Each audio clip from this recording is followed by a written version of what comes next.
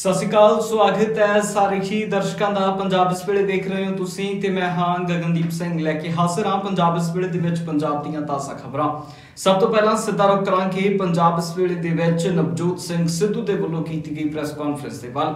ਜੀ ਹਾਂ, ਬੀਤੇ ਦਿਨੀ ਪਟਿਆਲਾ ਸ਼ਹਿਰ ਦੇ ਵਿੱਚ ਨਵਜੋਤ ਸਿੰਘ ਸਿੱਧੂ ਨੇ ਪ੍ਰੈਸ ਕਾਨਫਰੰਸ ਕੀਤੀ ਹੈ। ਇਸ ਪ੍ਰੈਸ ਕਾਨਫਰੰਸ ਦੇ ਵਿੱਚ ਆਪਣੇ ਹੋਣ ਜਾਂ ਵਿਰੋਧੀ ਹੋਣ ਸਾਰਿਆਂ ਨੂੰ ਹੀ ਨਵਜੋਤ ਸਿੰਘ ਸਿੱਧੂ ਨੇ ਪੰਜਾਬ ਦੇ ਮਸਲਿਆਂ ਦੇ ਉੱਤੇ ਨਿਸ਼ਾਨੇ ਤੇ ਰੱਖਿਆ ਹੈ। ਨਵਜੋਤ ਸਿੰਘ ਸਿੱਧੂ ਨੇ ਇਸ ਮੌਕੇ ਤੇ ਉੱਤੇ ਐਫਸੀਆਈ ਦੇ ਵੱਲੋਂ ਨਵੇਂ ਨਿਯਮਾਂ ਨੂੰ, ਜਿਨ੍ਹਾਂ ਨੂੰ ਲਾਗੂ ਕਰਵਾਉਣ ਦੇ ਲਈ ਇੱਕ ਚਿੱਠੀ ਭੇਜੀ ਗਈ ਸੀ। ਉਸ ਚਿੱਠੀ ਦੇ ਉੱਤੇ ਨਵਜੋਤ ਸਿੰਘ ਸਿੱਧੂ ਬਾਰੇ ਨੇ, ਨਵਜੋਤ ਸਿੰਘ ਸਿੱਧੂ ਨੇ ਇਸ ਨੂੰ ਪੰਜਾਬ ਨੂੰ ਦੋ ਫਾੜ ਕਰਨ ਦੀਆਂ ਸਾਜ਼ਿਸ਼ਾਂ ਤੱਕ ਕਰਾਰ ਦੇ ਦਿੱਤਾ ਹੈ। ਨਵਜੋਤ ਸਿੰਘ ਸਿੱਧੂ ਦੀ ਇਸ ਐਫਸੀਆਈ ਦੇ ਨਵੇਂ ਨਿਯਮਾਂ ਤੇ ਕੀ ਕੁਝ ਕਹਿਣਾ ਹੈ? ਪਹਿਲਾਂ ਉਹ ਸੁਣਦੇ ਹਾਂ, ਫਿਰ ਬਾਕੀ ਮਸਲਿਆਂ ਦੇ ਬਾਰੇ ਬਤਾਂਗੇ ਗੋਇਲ ਸਾਹਿਬ, ਇਹ ਤਰਕ ਦਿੰਦੇ ਆ ਕਿ ਜੀ ਪੰਜਾਬ ਦਾ ਜਿਹੜਾ ਰੈਵਨਿਊ ਡਿਪਾਰਟਮੈਂਟ ਆ, ਉਹਨੂੰ ਲੈਂਡ ਰਿਕਾਰਡਾਂ ਦੇ ਬਾਰੇ ਸਾਰਾ ਕੁਝ ਪਤਾ ਹੈ। ਔਰ ਸਭ ਕੁਝ ਜਾਣੂ ਹੈ। ਓਨਰਸ਼ਿਪ ਹੋਲਡਿੰਗਸ ਦੇ ਬਾਰੇ। ਪਰ ਮੈਂ ਸੈਂਟਰ ਸਰਕਾਰ ਦਾ ਆਪਦਾ ਹੀ ਤੀਰ ਇਹਨਾਂ ਦੇ ਵੱਲ ਕਰਦਾ ਮੈਂ ਮੋੜ ਦਿੰਦਾ ਉਹਨੂੰ। ਇਹਨਾਂ ਵੱਲ। ਨੈਸ਼ਨਲ ਸੈਂਪਲ ਸਰਵੇ 2012-13 ਦਾ। ਇਹ ਮੇਰਾ ਨਹੀਂ ਹੈ।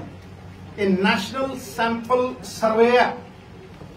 ਉਹ ਕਹਿੰਦਾ ਵੀ 24% ਖੇਤੀ ਜਿਹੜੀ ਹੁੰਦੀ ਉਹ ਠੇਕੇ ਤੇ ਹੁੰਦੀ ਹੈ। ਮੈਂ ਉਹਦੇ ਐਡੀਸ਼ਨ ਕਰਨ ਲੱਗਿਆ। 24% ਖੇਤੀ ਠੇਕੇ ਤੇ ਹੁੰਦੀ ਹੈ, ਮੈਂ ਉਹਦੇ ਤੇ ਐਡੀਸ਼ਨ ਕਰਨ ਲੱਗਿਆ।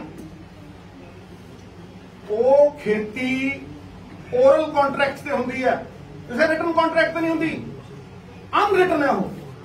ਓਰਲ ਹੈ, ਜ਼ਬਾਨੀ ਹੈ। ਆ ਪਿੰਡ ਮਾਨ ਵਾਲੇ ਆ ਬੈਠਾ ਮੇਰਾ। ਤਾਇਆ ਦਾ ਮੁੰਡਾ। ਇਹਨੂੰ ਪੁੱਛੋ 2 ਏਕੜ ਕਿਤੇ ਦਿੱਤੀ ਹੋਈ ਹੈ 3 ਏਕੜ ਕਿਤੇ ਦਿੱਤੀ ਹੋਈ ਹੈ, ਜ਼ਬਾਨ ਤੇ ਦਿੱਤੀ ਹੈ ਜਾਂ ਲਿਖਤ ਤੇ ਦਿੱਤੀ? ਹੁਣ ਤੁਸੀਂ ਮੈਨੂੰ ਦੱਸੋ ਕਿ ਗੋਇਲ ਸਾਹਿਬ ਕਹਿੰਦੇ ਵੀ ਸਾਰੇ ਲੈਂਡ ਰਿਕਾਰਡ ਹੈਗੇ ਨੇ।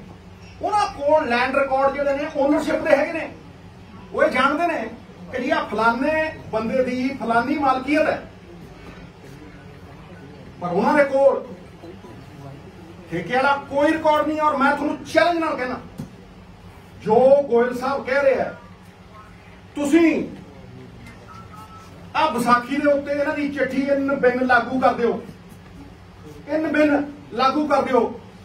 ਤੇ ਮੈਂ ਤੁਹਾਨੂੰ ਕਹਿੰਦਾ ਕਿ 25 ਤੋਂ 30% ਪੰਜਾਬੀਆਂ ਨੂੰ ਕੋਈ ਪੇਮੈਂਟ ਨਹੀਂ ਮਿਲਦੀ।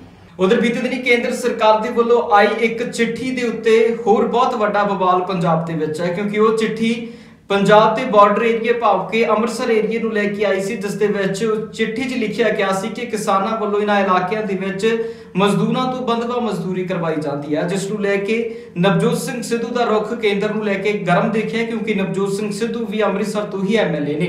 ਕੀ ਕੁਝ ਇਸ ਮੌਕੇ ਤੇ ਨਵਜੋਤ ਸਿੰਘ ਸਿੱਧੂ ਦਾ ਕਹਿਣਾ ਸੀ, ਉਹ ਸੁਣਦੇ ਹਾਂ। ਹਿਊਮਨ ਰਾਈਟ ਵਾਇਲੇਸ਼ਨ ਕਹਿ ਰਿਹਾ ਹੈ ਤਾਂ ਮੈਂ ਪੁੱਛਣਾ ਕੋਵਿਡ ਹੋਇਆ ਸੀ?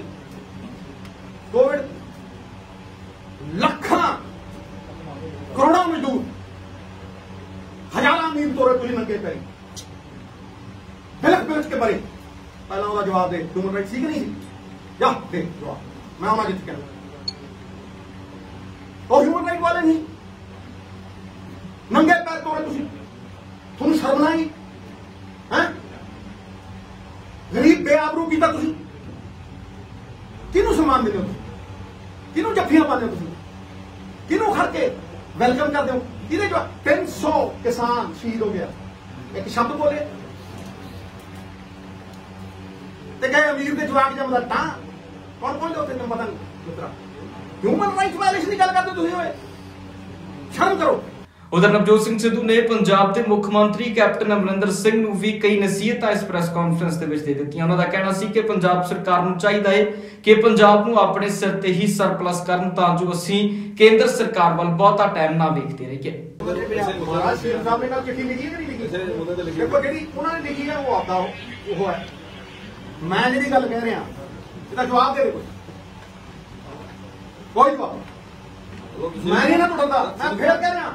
ਸਾਨੂੰ ਆਪਣੇ ਪੈਰਾਂ ਤੇ ਖੜਾ ਹੋਣਾ ਪਊ। ਮੇਰੀ ਮੇਰੀ ਮੇਰਾ ਰਾਹ ਅੱਡ ਹੈ। ਮੇਰਾ ਰਾਹ ਅੱਡ ਹੈ।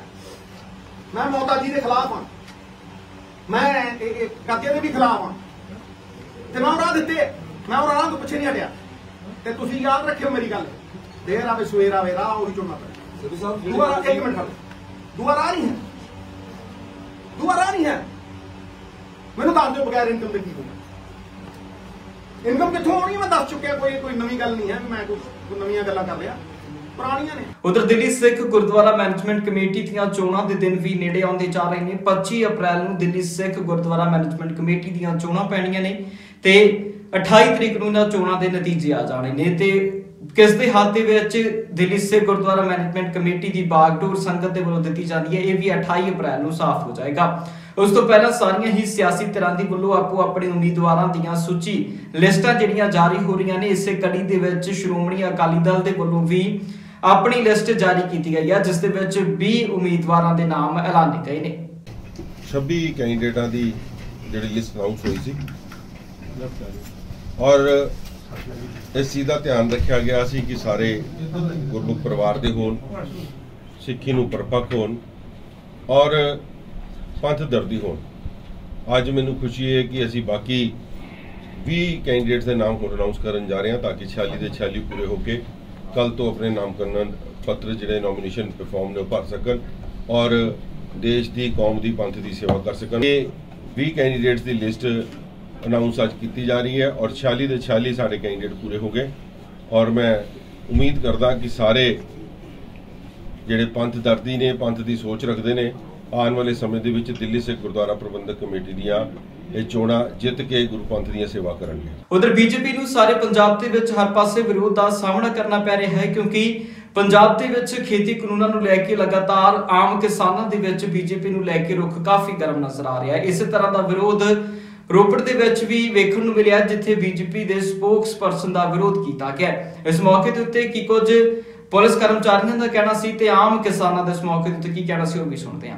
ਇਸ ਤਰ੍ਹਾਂ ਜੀ ਸਾਨੂੰ ਪਤਾ ਲੱਗਿਆ ਵੀ ਇੱਥੇ ਗੁਰਕਵਾਲ ਸਿੰਘ ਲਾਲਪਰਾ ਜਿਹੜਾ ਸਪੋਕਸਮੈਨ ਆ ਭਾਜਪਾ ਦਾ ਉਹ ਤੇ ਜ਼ਿਲ੍ਹੇ ਦਾ ਪ੍ਰਧਾਨ ਜਤਿੰਦਰ ਸਿੰਘ ਅਠਵਾਲ ਉਹ ਆ ਰਹੇ ਆ ਅਸੀਂ ਉਹਨਾਂ ਦਾ ਵਿਰੋਧ ਕਰ ਰਹੇ ਆ ਵੀ ਜਾਂ ਤਾਂ ਤੁਸੀਂ ਕਾਲੇ ਕਾਨੂੰਨਾਂ ਦੇ ਖਿਲਾਫ ਸਾਡੇ ਨਾਲ ਖੜੋ।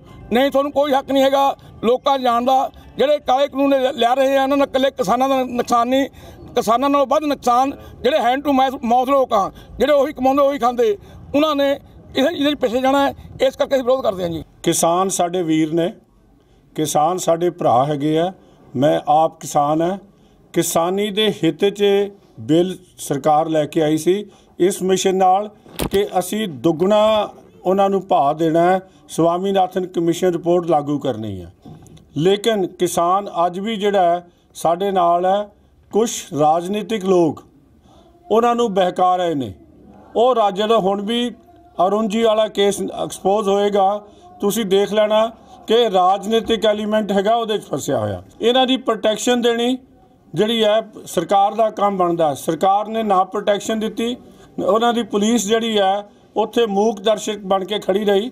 ਅਸੀਂ ਕਿਸਾਨ ਵੀਰ ਸਾਡੇ ਭਰਾ ਨੇ, ਕਿਸਾਨ ਸਾਡੇ ਸਾਥੀ ਹੈ, ਕਿਸਾਨਾਂ ਦੇ ਲਈ ਇਹ ਕਾਨੂੰਨ ਬਣਿਆ ਸੁਪਰੀਮ ਕੋਰਟ ਵੀ ਉਹਦੇ ਤੇ ਜਿਹੜਾ ਵਿਚਾਰ ਕਰ ਰਹੀ ਹੈ। ਉਧਰ ਬੀਜੇਪੀ ਆਗੂ ਤਰੁਣ ਚੁੱਗ ਵੱਲੋਂ ਸੋਮ ਪ੍ਰਕਾਸ਼ ਦੇ ਉੱਤੇ ਹੋਏ ਹਮਲੇ ਨੂੰ ਲੈ ਕੇ ਵੀ ਨਿੰਦਾ ਕੀਤੀ ਗਈ ਹੈ ਉਹਨਾਂ ਦਾ ਕਹਿਣਾ ਸੀ ਕਿ ਸੋਮ ਪ੍ਰਕਾਸ਼ ਦੇ ਉੱਤੇ ਹਮਲਾ ਹੋਣਾ ਮੰਦਭਾਗਾ ਹੈ ਤੇ ਅਜਿਹੀਆਂ ਕਾਰਵਾਈਆਂ ਨਹੀਂ ਦੇਸ਼ ਦੇ ਵਿੱਚ ਹੋਣੀਆਂ ਚਾਹੀਦੀਆਂ, ਜਿਸ ਦੇ ਨਾਲ ਲਾਅ ਐਂਡ ਆਰਡਰ ਦੀ ਸਥਿਤੀ ਦੇ ਉੱਤੇ ਵੱਡੇ ਸਵਾਲੀਆ ਨਿਸ਼ਾਨ ਲੱਗਦੇ ਨੇ।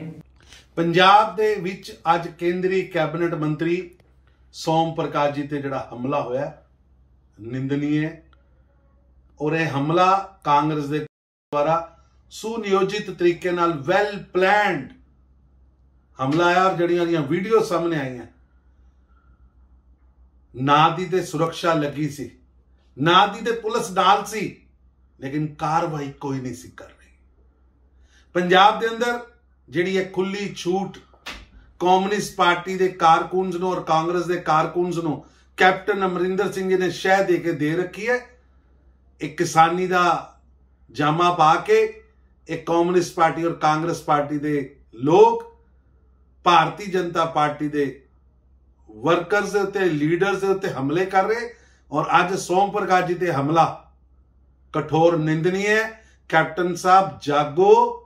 ਪੰਜਾਬ ਪੁਲਿਸ ਜਾਗੋ, ਪੰਜਾਬ ਦੇ ਵੱਡੇ ਵੱਡੇ ਅਫਸਰ ਜਾਗੋ, ਇਹ ਮਾਹੌਲ ਜਿਹੜਾ ਅਸੀਂ ਪੰਜਾਬ 'ਚ ਬਣਾ ਰਹੇ ਹਾਂ, ਇਹ ਆਉਣ ਵਾਲੇ ਟਾਈਮ 'ਚ ਇਸ ਫਸਲ ਨੂੰ ਸਾਨੂੰ ਹੀ ਕੱਟਣਾ ਪਏਗਾ। ਇਸ ਵਿੱਚ ਇਹ ਵਿਸ਼ ਨਾ ਬੋਈਏ, ਇਹ ਵਿਸ਼ ਅੱਜ ਭਾਰਤੀ ਜਨਤਾ ਪਾਰਟੀ ਤੇ ਤੁਸੀਂ ਚੜਾਉਣ ਦੀ ਕੋਸ਼ਿਸ਼ ਕਰ ਰਹੇ ਹੋ, ਇਹ ਪੰਜਾਬ ਦਾ ਮਾਹੌਲ ਖਰਾਬ ਕਰੇਗੀ ਔਰ ਪੰਜਾਬ ਇੱਕ ਸੀਮਾ ਪ੍ਰਾਂਤ ਹੈ। ਮੁੱਖ ਮੰਤਰੀ ਸਾਹਿਬ ਨੂੰ, ਪੰਜਾਬ ਦੇ ਲਾਅ ਐਂਡ ਆਰਡਰ ਨੂੰ ਇਸ ਤਰ੍ਹਾਂ ਪੋਲੀਟੀਕਲਾਈਜ਼ ਖੇਲਣ ਵਾਸਤੇ ਨਹੀਂ ਦੇਣਾ ਚਾਹੀਦਾ। ਪੰਜਾਬ ਇਸ ਵਿੱਚ ਰੁਕਾਂਗੇ ਹੁਣ ਦੇ ਖਾਸ ਅਤੇ ਤਾਜ਼ਾ ਸਿਆਸੀ ਹਾਲਾਤਾਂ ਦੇ ਬਾਰੇ ਅੱਜ ਸਭ ਤੋਂ ਵੱਧ ਜੇਕਰ ਨਫ਼ਰਤ ਪੰਜਾਬ ਵਿੱਚ ਕਿਸੇ ਪੋਲੀਟੀਕਲ ਪਾਰਟੀ ਨੂੰ ਕੀਤੀ ਜਾਂਦੀ ਹੈ ਤਾਂ ਉਹ ਅਕਾਲੀ ਦਲ ਤੇ ਬੀਜੇਪੀ ਆ। ਅੱਜ ਪੰਜਾਬ ਦੇ ਬੱਚੇ ਬੱਚੇ ਨੂੰ ਪਤਾ ਗਾ ਕਿ 2015 ਦੇ ਵਿੱਚ ਗੁਰੂ ਗ੍ਰੰਥ ਸਾਹਿਬ ਦੀ ਬੇਅਦਬੀ ਇਹਨਾਂ ਦੀ ਸਰਕਾਰ ਦੇ ਸਮੇਂ ਹੋਈ। ਅੱਜ ਪੰਜਾਬ ਦੇ ਬੱਚੇ ਬੱਚੇ ਨੂੰ ਪਤਾ ਗਾ ਕਿ ਜਿਹੜੇ ਤਿੰਨ ਕਾਲੇ ਕਾਨੂੰਨ ਲੈ ਕੇ ਆਂਦੇ ਨੇ ਕਿ ਉਹਦੇ ਜਨਮਦਾਤਾ ਅਕਾਲੀ ਦਲ ਬੀਜੇਪੀ ਤੇ ਕਾਂਗਰਸ ਨੇ। ਅੱਜ ਅਕਾਲੀ ਦਲ ਜਿਹੜਾ ਹੈਗਾ ਰੈਲੀਆਂ ਕਰਕੇ ਆਪਦੇ ਕੈਂਡੀਡੇਟ ਤਾਂ ਅਨਾਉਂਸ ਕਰ ਰਿਹਾ ਕਿਉਂਕਿ ਅਕਾਲੀ ਦਲ ਲੱਗ ਰਿਹਾ ਕਿ ਕਿਤੇ 2022 ਤੱਕ ਸਾਡੇ ਕੈਂਡੀਡੇਟ ਸਾਨੂੰ ਨਾ ਲੱਭਣ। ਇਸ ਗੱਲ ਕਰਕੇ ਅਕਾਲੀ ਦਲ ਜਿਹੜਾ ਹੈਗਾ, ਆਪਣੀ ਖੋਈ ਹੋਈ ਸਿਆਸੀ ਜ਼ਮੀਨ ਤਲਾਸ਼ ਰਿਹਾ ਹੈਗਾ। ਜਿਹੜਾ ਰੂਰਲ ਡਿਵੈਲਪਮੈਂਟ ਫੰਡ ਹੈ, ਉਹ ਪੰਜਾਬ ਦੇ ਲੋਕਾਂ ਦਾ ਸਾਡੇ ਪਿੰਡਾਂ ਦੀਆਂ ਸੜਕਾਂ ਬਣਨੀਆਂ, ਸਾਡੀਆਂ ਫਿਰਨੀਆਂ ਬਣਨੀਆਂ ਗੁਰਦੁਆਰਾਂ ਦੀ ਸੜਕਾਂ ਬਣਨੀਆਂ ਮੰਡੀਆਂ ਦੇ ਵਿੱਚ ਪ੍ਰਬੰਧ ਹੋਣੇ ਉਹ ਰੂਰਲ ਡਿਵੈਲਪਮੈਂਟ ਫੰਡ ਨਾਲ ਹੋਣੇ ਹੁੰਦੇ ਆ। ਔਰ ਅੱਜ ਕੈਪਟਨ ਅਮਰਿੰਦਰ ਸਿੰਘ ਚਿੱਠੀ ਲਿਖ ਰਹੇ ਆ ਪਿਊਸ਼ ਗੋਇਲ, ਪਹਿਲਾਂ ਕਿੱਥੇ ਗਏ ਸੀ? ਕੀ ਗੱਲ? ਉਹਨਾਂ ਨੇ ਜਿਹੜਾ ਊੜਾੜਾ ਈਡੀ ਪੜਾਇਆ ਜਿਹੜਾ ਈਡੀ ਦਾ ਡਰ ਦਿਖਾਇਆ ਇਹਦੇ ਕਰਕੇ ਚੁੱਪ ਸੀ? ਤੇ ਹੁਣ ਇਲੈਕਸ਼ਨਾਂ ਕਰਕੇ ਜਾਗ ਰਹੇ ਹੋ? ਦੇਰ ਆਏ ਦਰੁਸਤ ਆਏ ਠੀਕ ਹੈ ਸ਼ੁਕਰ ਹੈ ਤੁਹਾਨੂੰ। ਸਮਝ ਤਾਂ ਲੱਗੀ ਵੀ ਅਸੀਂ ਕੁਝ ਮੰਗਣਾ ਵੀ ਹੈ ਪੰਜਾਬ ਵਾਸਤੇ। ਪੰਜਾਬ ਇਸ ਦੇ ਵਿੱਚ ਫਿਲਹਾਲ ਲਈ ਨਹੀਂ ਫਿਰ ਮੁੜ ਹਾਸਲ ਹੋਵਾਂਗੇ ਨਵੀਆਂ ਤੇ ਤਾਜ਼ਾ ਅਪਡੇਟਸ ਦੇ ਨਾਲ, ਤਦ ਤੱਕ ਲਈ ਮੈਨੂੰ ਦਿਓ ਇਜਾਜ਼ਤ ਬਹੁਤ ਬਹੁਤ ਧੰਨਵਾਦ।